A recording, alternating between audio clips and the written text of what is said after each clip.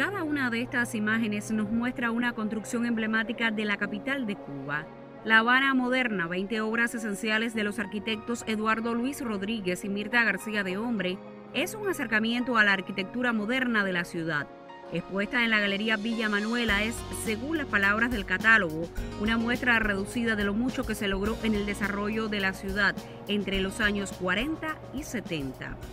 Digo que es una oportunidad especial porque se ha insistido mucho a lo largo de las últimas décadas en los valores mm, reales, altísimos, de la arquitectura colonial y de La Habana Vieja en particular.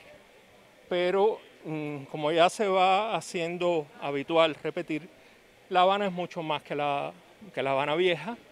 La arquitectura cubana y la arquitectura habanera en particular es mucho más que eh, la que encontramos en La Habana Vieja, que es la arquitectura colonial, y esta exposición nos ha dado la oportunidad de mostrar 20 obras modernas que son esenciales para el patrimonio de la ciudad.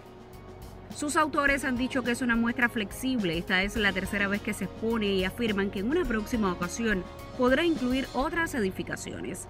Se incluye aquí a la ciudad universitaria José Antonio Echeverría, al Parque Deportivo José Martí, al Pabellón Cuba, la Habana Libre, las Escuelas Nacionales de Arte, la heladería Copelia, el Cabaret Tropicana, iglesias y edificios de apartamentos.